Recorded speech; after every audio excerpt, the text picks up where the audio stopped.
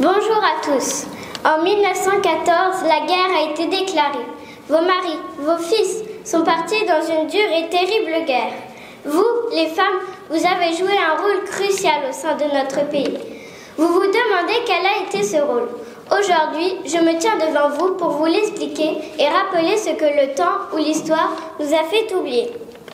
Les femmes s'engagent et se montrent courageuses et solidaires, tant sur le front extérieur, en assurant leurs lourdes missions, comme travailler dans les champs, puis sur le front intérieur, en s'occupant de leur foyer et des tâches de la vie quotidienne, comme entretenir la maison, ou encore préparer le souper, non seulement pour ceux restés à l'arrière, mais également pour ceux partis au front.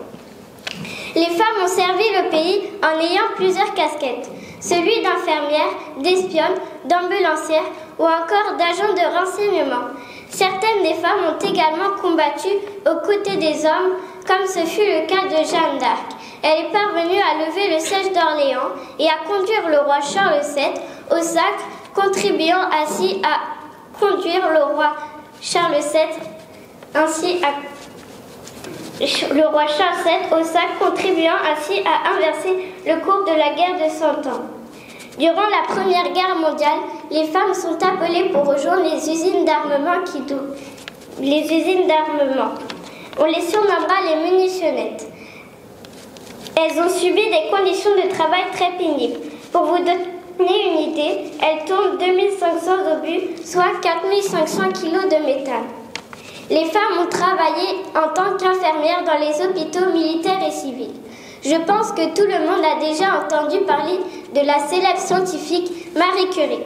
En effet, grâce à ses nombreuses découvertes, comme le radium et le polonium, et à la création des ambulances, les petites Curie, elle se rendra sur les champs de bataille. Ces nombreux travaux ont permis de sauver des vies grâce à l'invention de la radiologie. Enfin, elles ont aussi ouvert la voie dans l'émancipation de ces dernières.